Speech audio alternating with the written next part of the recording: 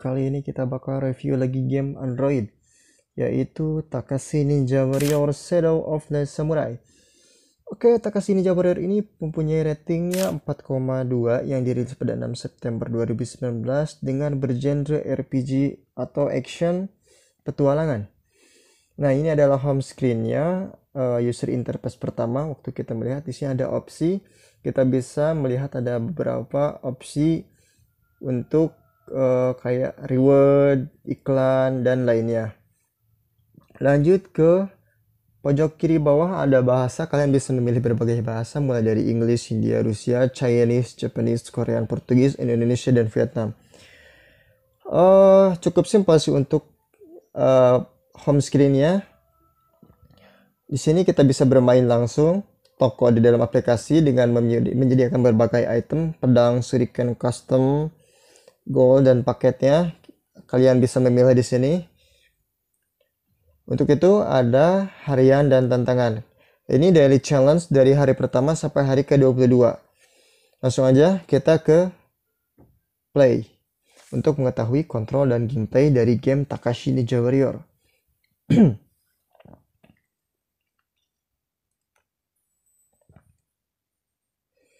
ya karena saya mungkin udah meramain beberapa kali sampai match uh, apa sampai stake yang ini. Oke. Okay.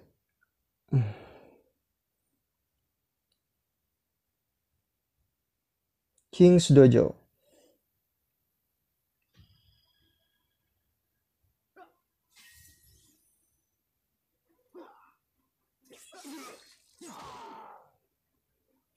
hit and run. Jadi kita itu harus menggunakan hit and run.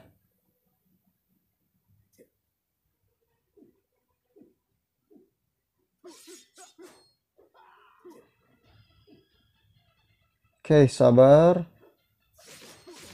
Ah, kena cuy.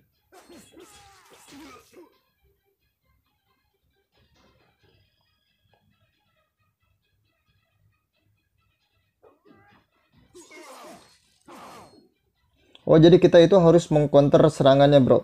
Sampai nunggu stamina kita. Oke sabar. Oke sabar sabar sabar. Nggak kena. Sabar. Kita harus sabar di stage ini ya. Oke. Ah mereka menyerang berdua nih.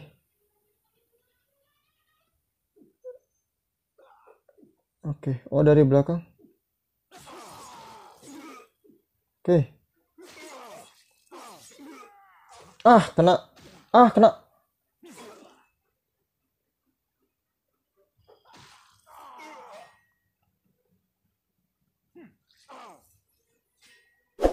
Oh, kena juga dia mati. Oke. Langsung kita beres habis ini. Harusnya kita bisa ngeheal sih. Scroll phone for the one who is seeking. Oke, nggak bisa dibaca ya.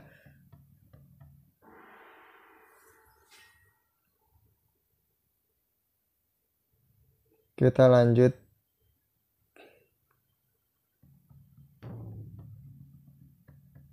Nah, jadi untuk gameplaynya sendiri seperti itu. Jadi kontrolnya sih dari gerakannya, dari karakternya lumayan lah ya buat game 90 megabaitan dan ini dimainkan secara offline.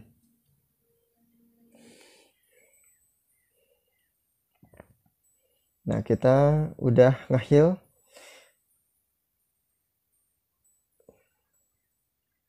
Kita tunggu. Kita endap-endap. Still. Iya, sip. Kita harus ke mana ini tunggu tunggu tunggu tunggu tunggu tunggu tunggu tunggu oke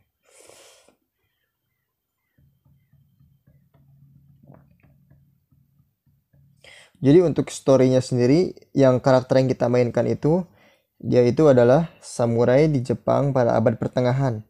Namanya adalah Takashi, ya. 这我。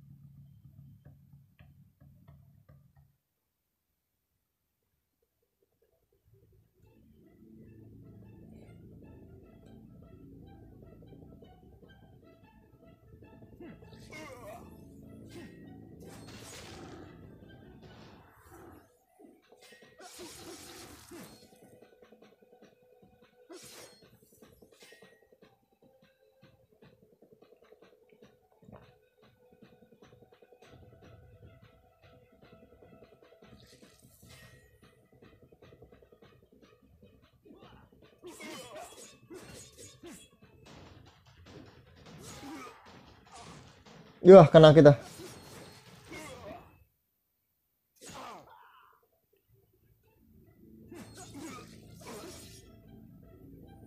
Kita nunggu stamina penuh, eh apa itu? Eh, stamina-nya penuh.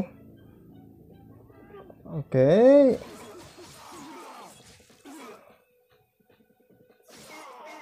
Oke. Sip. Untuk gameplaynya sendiri lumayan ng- nggak terlalu sulit ya, mudah banget kontrol dan gameplaynya.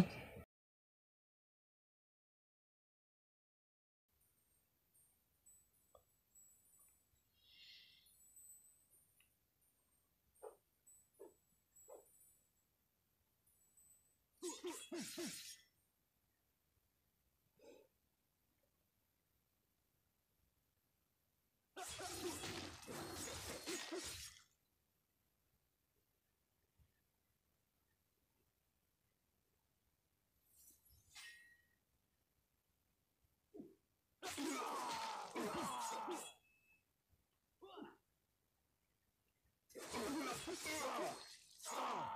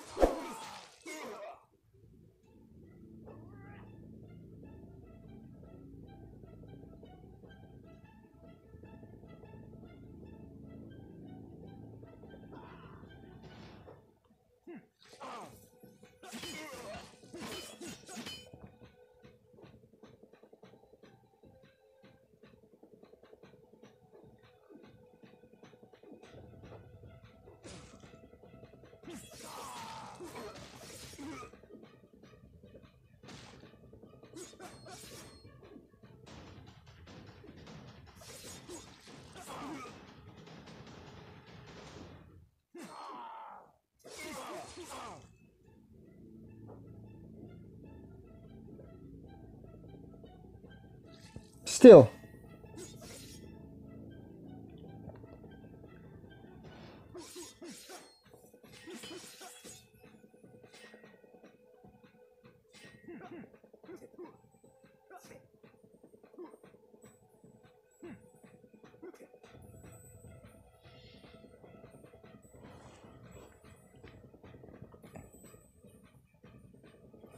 Nah, ketika kalian bertarung, audionya itu berubah-ubah. Dan dalam kayak keadaan ketika kita sedang bertarung, kayak tegang gitu aja. Jadi kalian bisa mainkan sendiri dan kalian bisa tamatin sendiri kalau kalian suka game-game RPG seperti ini. Overall untuk secara grafisnya ini lumayan ya.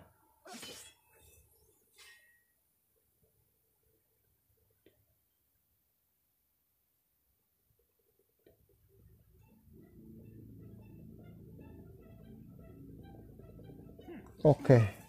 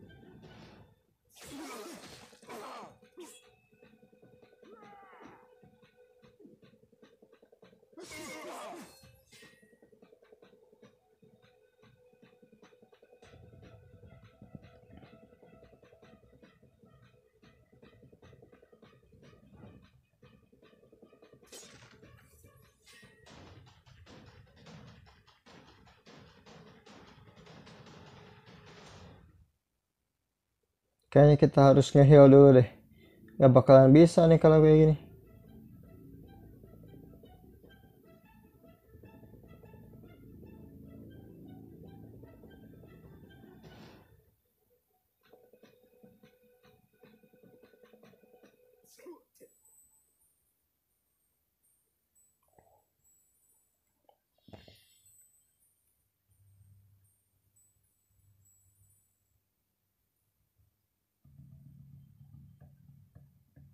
Ah, malah ketahuan.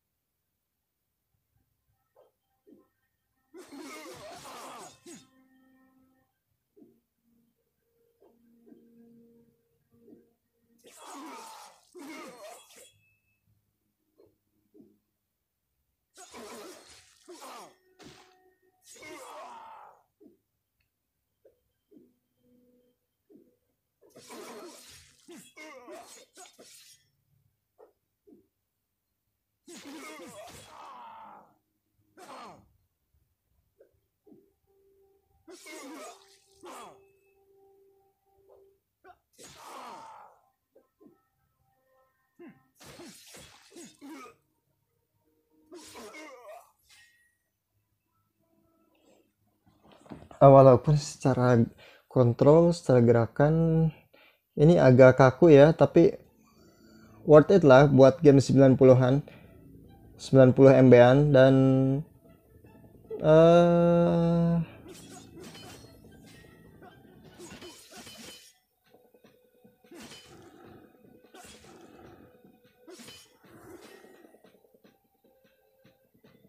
main get unlock oh dia membuka pintu gerbang oke. Kita harus segera ke sana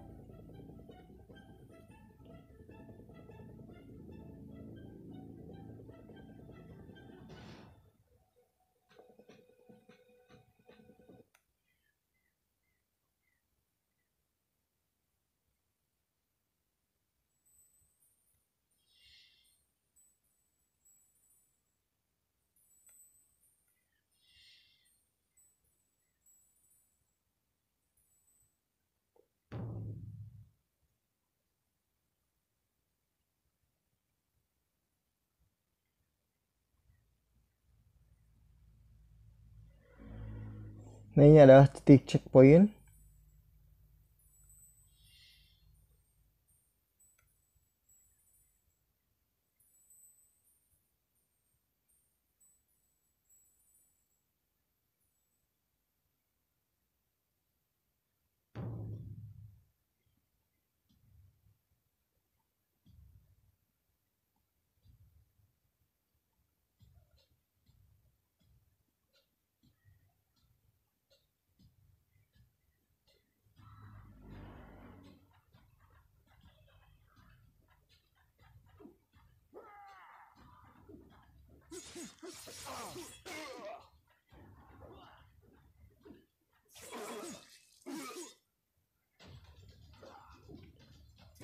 Kita melawan seorang penyihir ya, The Witch.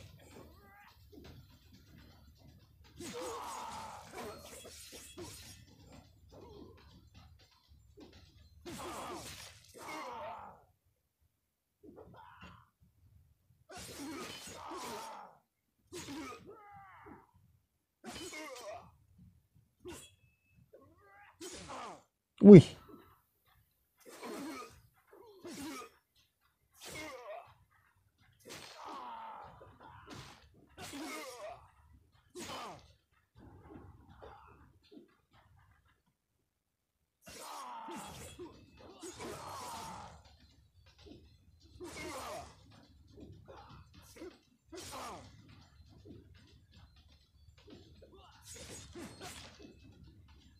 Ugh!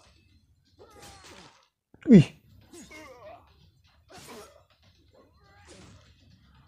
Ya, mati kita.